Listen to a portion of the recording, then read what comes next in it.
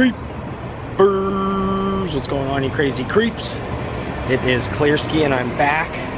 I've got the appropriate attire on for today. Today's gonna be a little creepy. We've got a really cool house that we're gonna go check out here in the West Hills. And that is gonna be included in some of our playlists, which is the, you know, weird kind of uh, unique houses around Portland, Oregon. And this one is special. It's the Spiderweb house, that's right. And uh, it's very creepy. I've been by a couple times, um, but didn't actually stop. So we're gonna go up into the West Hills and check it out. But I wanted to show you guys something that's right behind me here as well this morning, just to kind of start the vlog. So stay tuned, today's gonna be a fun one. Check this out right from the get-go this morning. I found another one of Mike Bennett's pieces here and check it out it's even one better here. He's got the unipiper. Kind of hard to see with the glare. But his uh, cardboard or not cardboard but they're wooden uh, little cartoons are scattered all through Portland. And this uh, unipiper guy is an iconic guy here as well. He rides around town on a unicycle. Usually has a set of bagpipes on him. And I'm hoping to get him on the vlog one of these days. Maybe we can interview him. But yep Mike Bennett never uh, never disappoints with his art. Always very cool. There's some more. I see some different little vegetables here. I always love his faces that he makes. But I think he teamed up with Top Chef. They're doing some filming here in Portland. Love seeing his art though. You seem like you are right now I had a big Great Dane pit. God, he's a, you got to get a saddle for that guy. yeah. What a beautiful dog. What's his name? Her name's Olive. Oh, her name. Olive. Hi, buddy. God, you're beautiful. You really are. Thanks for sharing, guys. Have a good day. Whew. Quite the hike. If you can see behind me here, I had to trek up this big hill, but we made it. We are here at this really creepy house. I definitely was excited to get it on the vlog, but right here behind me is the creepy spider house. In fact, this was built in 1929 by a gentleman by the name of J.O. Frye. Whew! And to make it even more creepy, wait till you guys see these windows. Um, very creepy. Came by here at night and was actually looking for a different place which we'll go to next. So always for good measure, I don't want to give away any privacy, but I figured I would at least take you guys here to the front and show you how cool this house is. In fact, this was placed on the National Register of Historic Homes in 1985. And I just love, love, love the style of this house and the chimney as well. Just incredible. But one thing that I saw that stood out the most was these windows. Let's check out these windows. You can see there's uh, three of them over the door and one big one right here. Let's go get a better look. So look at these windows. This is dubbed the Spider House. Look at those windows, you guys. And those just aren't like, you know, fake cobwebs or even etched into the glass. Those are actually placed over the glass somehow to create that cobweb look. Which to me is just so good and so creepy. And I love how, if you see like some of the intricate brickwork, some of them kind of stick out, which gives it even more of a really cool look. And I love, like I said, how big this chimney is. And if you can see on the chimney, it's even got the little the little pieces sticking out there. And another really cool thing other than the windows right down here, there's actually a little placard that we'll go take a look at that talks more about this place being on the National Registered Historic Houses. Check out those windows too. I'll get over here and see if we can get a better shot here. I love those three windows with the cobwebs in them as well. So creepy. so cool though. All right, let's uh, let's go up here and read what the placard has to say. And I also want to show you guys the front door, which I thought was gives the house a really cool look as well. So check out this front door, you guys. This is so cool with the the brickwork like that. And it's even got like an old school knocker on it. And these windows, like I said, are just so cool. Let's go up here real quick and read what this says here. The J.O. Fryer House, 1930. This property has been placed on the National Register of Historic Places by the United States Department of Interior National Park Service and is subject to the provisions of the Oregon Special Assessment Program.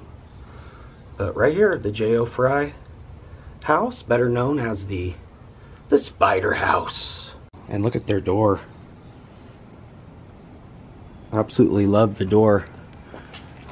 But like I said, for good measure, I want to kind of, you know, keep my distance and not bother anybody. I really like the garage door too. It's got like kind of like a ripple wooden plank look to it as long as well as the door. What a cool house. What a cool, creepy, very creepy spider house.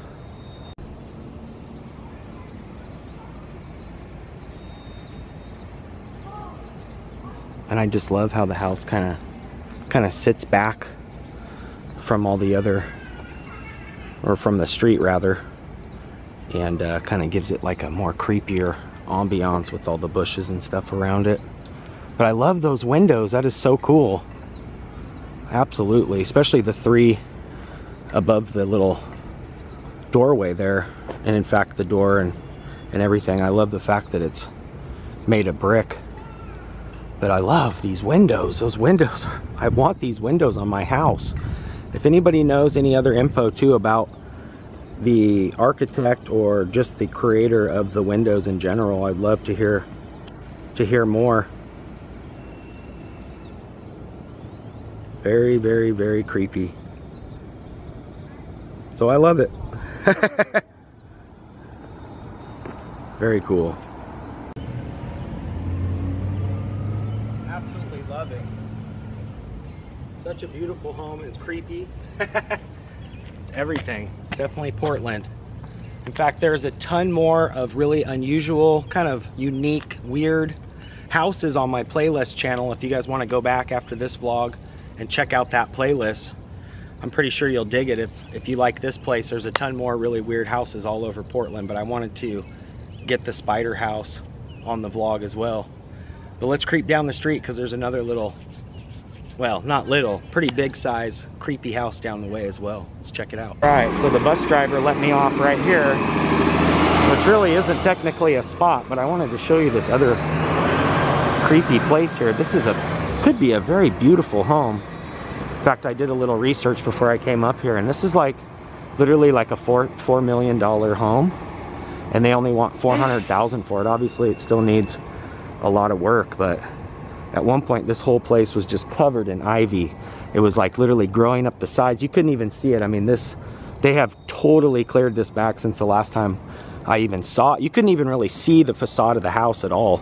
It was just engulfed. Literally, uh, I'll pull up some pictures that I found from Google Maps that they took a couple years back and show you guys the difference. But right here, it looks like uh, McCulloch Construction are doing their job. And like I said, this place has a ton of potential. And uh, thank you. Ton of potential with the two car garage. Looks like they put a newer door on it as well. But man, talk about a score if you had the really the time and the financial backings to help you. It's just a beautiful property, really. I, in my eyes, I can see it totally being fixed up now. My, a lot of people say, well, that's pretty darn creepy, especially at night if you came by here and it was still all covered in ivy, but just another weird, creepy place up here in the West Hills. Looks like it's got this little pathway. Wow. Definitely has a ton of potential. ton of glass back here. But look at what it's backed up to. You got this whole beautiful scenery behind you.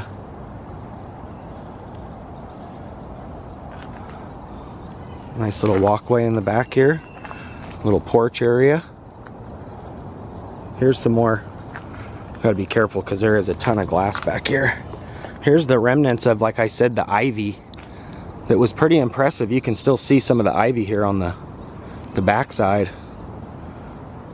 But I'm gonna I'm gonna get out of here because I'm not sure if I'm even supposed to be back here really. But I wanted to show you guys that real quick. Just another creepy, creepy place here. A lot of potential though.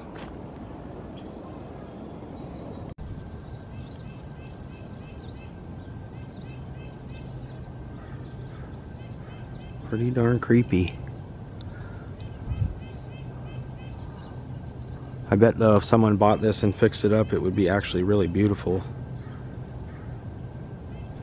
Looks like it's got some potential for sure. Just needs a little little elbow grease, maybe a new roof and gutters. Probably a bunch more things as well, but in creeping through these neighborhoods up here in the West Hills are just so beautiful. These houses are incredible. And I just love that they're basically surrounded by all this forestry. Uh-oh. I spoke too soon. Comedy. That doggy was trying to say hello. I think I caught him off guard. But yeah, I definitely love visiting up here to all these homes or when Portland built homes, not just cookie cutter style, they're all different. You know, maybe one every couple is the same, but a lot of history up here too. It's pretty cool. All right, I'll see you guys down here in a second. Check this out, you guys. This giant structure here's got all these animals all along it here. Some birds. Looks like some owls and maybe some cougars, raccoons. I'm guessing this is probably remnants of the old zoo, hence all the animals on it. Let's go in here and get a better look. But I believe this was the original zoo cages for the elephants. Let's go in here and get a better look here. I also noticed this giant kind of mural slash sculpture of the Rosie, the elephant. That's right, right here. Gosh, that's almost like actual size, it looks like. Oh, right here, look. Home to Rosie, the first elephant to live in Oregon. This building is the only surviving structure from the Oregon Zoo's previous location. Rosie came to Portland from Thailand in 1953 let's see here. Let's get in get in a little closer. Her arrival helped generate oh let's see. Rosie came to Portland from Thailand in 1953 her arrival helped generate support a new modern zoo which opened in 1959 the Oregon Zoo has since earned international recognition for its Asian elephant program. More endangered elephants has been born in Portland Zoo than any other zoo in North America. Very nice. Look at that. And they've even got Rosie there with her, maybe her caregiver or just a fan. And here she is right here. Nice. That is so cool. And to think this is where the elephants hung out. Very nice out. You guys are getting their wedding photos done. Very nice. It's a beautiful spot. Not to mention, look at the shot of Portland here. All the way through the West Hills. Basically where we started, right down there. What a beautiful spot for photography though. Very nice. Check out this place, you guys just beautiful resting way up here on the West Hills. This is a historic place here as well. And uh, I love the intricate woodwork. Looks like they've even got a placard here. The Levi Hexter Home, 1892.